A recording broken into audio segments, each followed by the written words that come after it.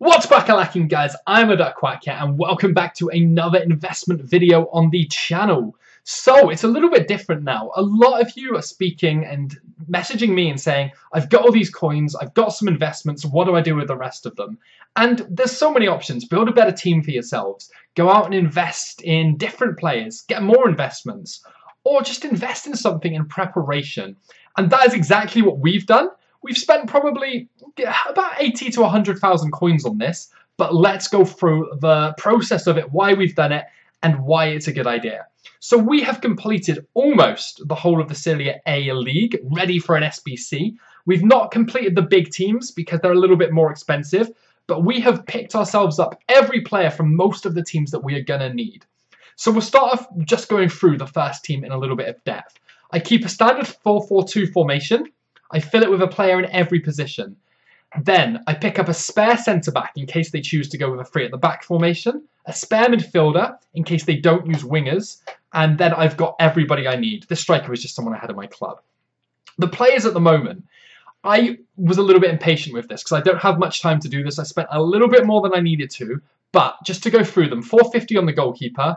That striker was completely irrelevant. Uh, let's go back to let's get back to the goalkeeper. That's where we needed to start. Okay, yeah, there we go. 450 on the goalkeeper, 650 on a silver right back, 450, 400. 600 for a rare silver left back, 450, 650 for a rare gold, 500, 650 for a rare gold, 300 for a rare silver striker, and then 650 again for a rare gold. They're basically all discard. We literally cannot lose any money on these. And when the SBC rolls round, we have a choice. Complete the league. We're guaranteed to get our money back from all of the packs. Because it's a bigger league, the pack quality is going to be a lot better than normal. And if we choose to sell the investments, we could expect to get at least, I'd say, about three times our money back on a whole. The next team in it is going to be, we'll try and do it in alphabetical list, Benevento. I'm not, I'm probably butchering some of these names again, but you can see some of them, you just need a load of silver players. So we've got two on the bench here, 650 centre mid, and a really expensive centre back here, 1500 coins. Now, I did spend a while monitoring this guy's price before I pounced, and this was a few hours back and he hasn't budged. So I just wanted to get it, and then I know I'm safe. I don't advise you guys spending that much on your players, but I just wanted to make sure I had them all because I want to complete this SBC. The silver goalkeeper, which we needed. And it's key to remember here, guys, I have built the best possible team I can. For all of these teams, almost, every player is the highest rated in their position. So we haven't budgeted anything. We spent 1500 on that centre back, obviously, but the right back 700, centre back 900 and 750, and these are rare silvers. A rare silver for 400 coins. And this is another thing to remember. These prices, we're going to be picking them up cheap, but I could flip them for 100% profit right now. But obviously, we're going to hold him. Onto the right mid, 550, 400, oops, 550, 400, 650 for a rare gold, 350 there, 900 and 550. You can see how cheap these teams are to complete. The only thing that you're going to be putting into this is time. And yes, it is going to take you a handful of hours to complete. Just make sure you cover any kind of formation that they could use with the extra centre back and centre mid. And just look at the player prices again. 400 across the board, basically, on this club. On average, 400 coins for every single player for Bologna. We're guaranteed to make profit again. I'm just going to go through them because I can't remember which ones had the most silvers in, but you'll be able to see just how expensive they were and where the best possible investments are if you're just looking to pick up some players. So the sub bench, we've got centre forward for 750, for 450, sorry, centre back for 600, 400, and again, just going through them all here, you can see that we're not spending over a thousand coins, not over 600 coins on most of those players again. I just want to find a couple more of those full silver teams. I think Crotone was basically full silver. This was basically for gold, full gold, and the prices are exactly as you'd expect. Nothing crazy there. So we don't need to go into every team in detail, obviously. But I just wanted to show you guys how easy it is to do. I literally spent, like I said, a few hours doing this. And as soon as the SBC drops, we are ready to rock and roll. So this one here was the full silver team. 250, 400, 150 for that striker. 850, a fairly expensive left mid. But some of these I spent a bit more money on when they're the only one in that position. So I'd rather have a copy of it than take any kind of risks. But that was the only expensive player in the whole team. And the list goes on and on. And I am going to go on to every team because a few of you might want to just see the exact teams that I've built, the exact money I've spent on every single player. so you can see I just haven't gone crazy on anything. And in case you want to copy the teams that I've built as well, just with the best possible players. Now, this is something that I do plan on actually doing for every single league. So I want to do the big leagues first because they're the ones that are going to give us the best pack results, the best return for our money spent, and the most hype raised around them. So whether we sell the players or keep the players and use them, that's going to be the biggest return. Then straight after that, I want to get on to doing some of the more likely to come out soon, like the Eredivisie ones and stuff like that, and just kind of go all the way through every single one here until we've got every league prepared.